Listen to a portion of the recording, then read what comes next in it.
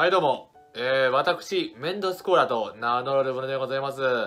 はい、そうですね、えー、今日はちょっともうショックすぎる一日でして、えー、朝からちょっともう、ね、えー、身が入らない一日となってしまいました。えー、今回ね、ほんとその身が入らなかった理由としてなんですけども、まあもうね、えー、長年ベイスターズを支えてくれました、えー、梶谷隆之、えー、外野手がね、FA 権を、えー、取得していたんですけども、えー、本日正式に横浜を退団することになり、かつ、えー、FA 権を行使して、えー、読売ジャイアンツの方に移籍することが決定いたしました。うん。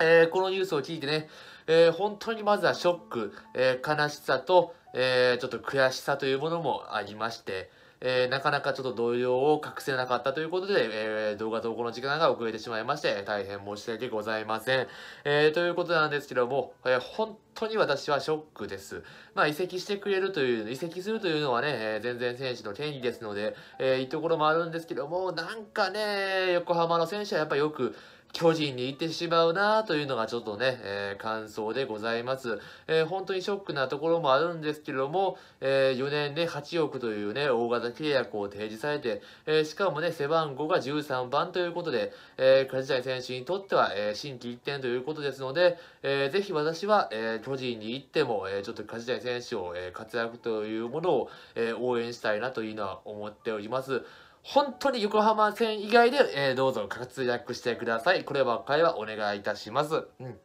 あとはね、えー、本当にね、巨人ファンの、えー、ことでね、えー、ツイッターとか調べても、梶谷いらんわとかね、えー、梶谷来るなとか言ってる巨人ファン、もうふざけるなと俺は言いたいですね。えー、ね、絶対取った側のね、えー、チームのやつはね、応援しないといけないんです。応援しないという権利があるんです。えー、それに対してね、やっぱイランとかね、えー、来るなとか言ってるやつはもう選手のファンじゃないですよ。ね、ここはちょっとね、えー、言わせていただきたいという部分があるんですけども、えー、梶谷選手ね、よくね、陽大館選手やね、えー、たちと比べられてね、どうせ外れやろうとかね、言われるというのは思いますけども、まあ、怪我するという可能性はね、なくはないかなというのは思いますけども、怪我しなかったら絶対にやれます。えそればっかりはこの動画でね、断言させていただきますので、えー、巨人での梶谷選手の活躍というものも私はぜひね、応援させていただきたいなというのは思いますし、えー、どうぞ横浜戦以外で、えー、打っていただければというのは思います。えー、当分ね、ショックで本当に、え、ショッキングだというのは思いますので、なかなか立ち直れません。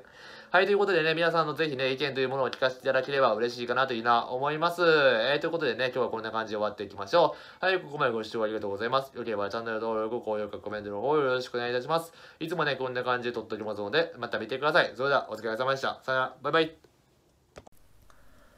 新ただ歴史その名を刻め。梶谷高雪、青い板天。かっ飛ばせ高雪。